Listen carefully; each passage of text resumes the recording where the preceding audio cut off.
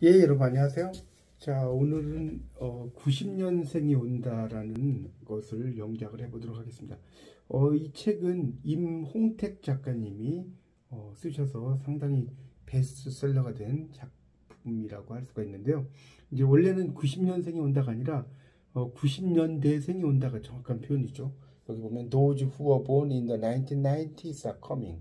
지금 후부터 이 본까지가 지금 앞에 있는 도우스를 꾸며주는 겁니다. 이 후부터 여기까지 1990년대니까 1990s죠. 이렇게 꾸며주고 이때 도우스는 people의 뜻이에요. people 사람들 사람들인데 어떤 사람들이냐면 1990년대에 태어난 사람들이 온다 이런 뜻이죠.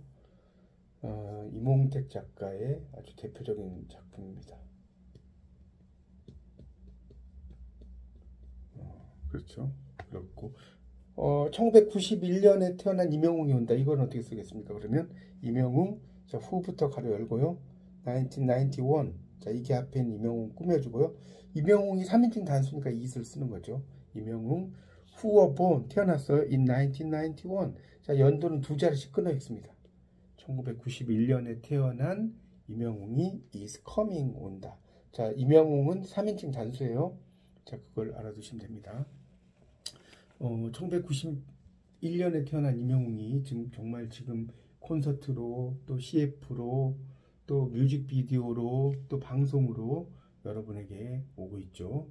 어, 여러분에게 오고 있는 이명웅을 잘 환영해 주시고 어, 격려해 주시고 응원해 주시기 바랍니다. 감사합니다.